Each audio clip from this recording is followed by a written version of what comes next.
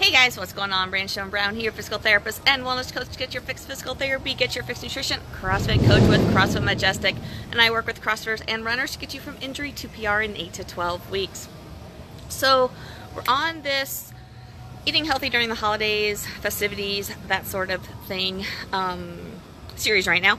And what I wanted to talk about today with you guys is taking healthy snacks with you. So, a lot of times if we work with a lot of people in an office building or uh, maybe a clinic, that sort of thing, people are bringing in maybe um, your fellow employees, your colleagues are bringing in, you know, baked goods, things that they've uh, made that are not the healthiest of choices, or clients, customers are bringing in these foods as well.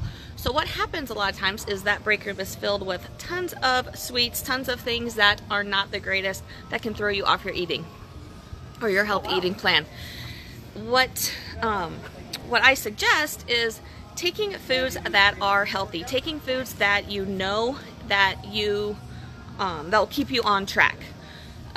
Because uh, I know, at least for myself, if I'm hungry, and there and I don't have healthy snacks with me, I'm going to eat whatever's there. And most people are the same way. If if you have your healthy options with you, you at least have food you can eat as a go-to snack rather than eating that stuff that you know you shouldn't have, you know that's not going to be good for your um, performance, but you're hungry and it's there and so you just grab it. So that's um, my, my best suggestion I give you for avoiding a lot of that at the workplace or at, at parties is take really healthy things with you that you know you can have and that way you when you are hungry, when you get snackish, you can grab those foods you know are uh, healthy for you rather than the things that are just there because it's quick and easy and convenient. So let me know your thoughts on this. Any feedback you have, I would love to hear. And as usual, if you have any specific questions for me, feel free to reach out to me on Facebook Messenger. I'd be happy to have a conversation with you. So have an awesome rest of your Saturday and I'll talk to you later. Bye.